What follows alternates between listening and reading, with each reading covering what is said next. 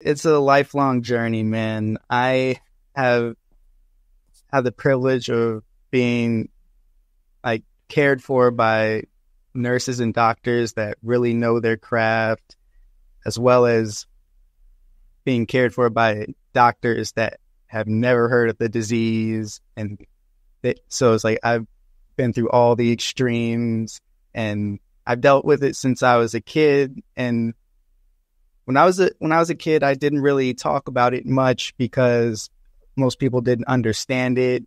And a lot of people around me, like I was the only one that had it, but luckily my parents were able to get connected with the sickle cell support groups and I was able to be around other people like me and faced a lot of the same struggles that I did. So I feel like that helped me out a lot. And yeah, I it was it was hard going through school because sometimes I'd have to miss a day or if I was really sick it'd be like a month and I'd be in the hospital, man. It was it was a it was a struggle, but I just mean I had to work twice as hard when I was going through there, and I wasn't able to play sports. Like I I, I used yeah. to I used to play soccer a lot. I, I was in soccer, basketball, and I completely fell out of it when I started having a bunch of crisis. Yeah, same dude. I um, still I still try to maintain active. Like I'm slowly trying starting to get myself back in that. Dude, the, it's it's difficult, man. Bro, I, I um I fully empathize with you, dude. I I know it's everything you're going through, and even more because I had I got my doctorate degree in college at with pharmacy, and um you know during those times I mm-hmm. also had um some sickle cell crises, and I, I, I, when you say, I like to say warrior because I really feel like a warrior because it's a fight.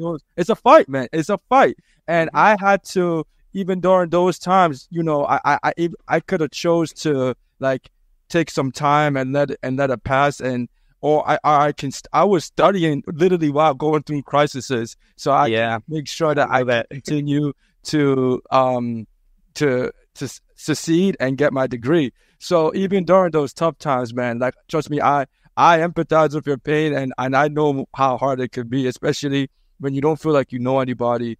You know, yo, I, I, I and, and and also with sports too, man. It's been it's been crippling me with my basketball, and um, I actually just interviewed um Billy Garrett. I don't know if you mm-hmm. know who he is. He's the first NBA player with sickle cell disease. Oh yeah, I, I, I, saw the thumbnail. I haven't had a chance. Yeah, yeah, yeah, yeah. I'm gonna. Um, yeah, it's super ins- inspirational, bro. But um, for people like me and you, like you know how tough it can be to play sports and how that can be crippling psychologically. To see somebody actually make it to the NBA with sickle cell, it's like okay, maybe people like us can actually do it, man. So, yeah, I I I love it, man. You know, the the, the next question I want to ask you, Chris, is what what has the most what has been the most difficult experience you went through and how did you overcome it?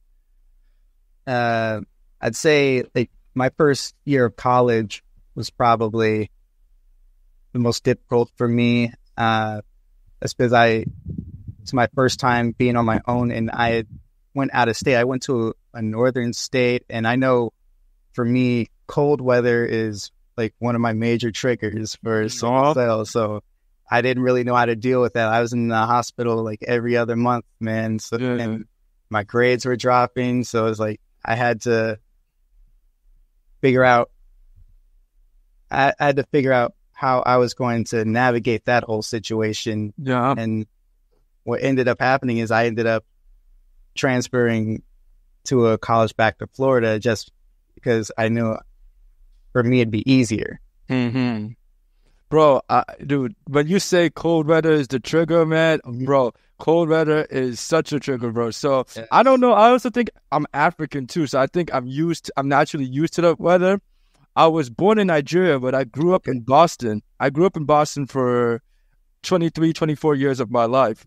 And one of the main reasons why I left Boston was because, bro, it's, it's, just it's just too cold up there, bro. I like, and you you said you're from New Jersey, so you know how it is. Then yes. I ended up moving to from Boston to Philadelphia, hoping that Ooh. it would change a little bit. You know what I'm saying? I was hoping it was gonna change, and like yeah, it was like five to six degrees warmer, but it wasn't like that much warmer to make me happier. So I just recently moved down to Atlanta, and right now I'm in Atlanta, and I, am much I'm much happier with the change. I'm much happier with the change. I will say though, Atlanta is a lot more colder than than you would expect it to be during like January and February. It's still a lot better than Boston and up north, but you have your surprisingly cold oh, weather.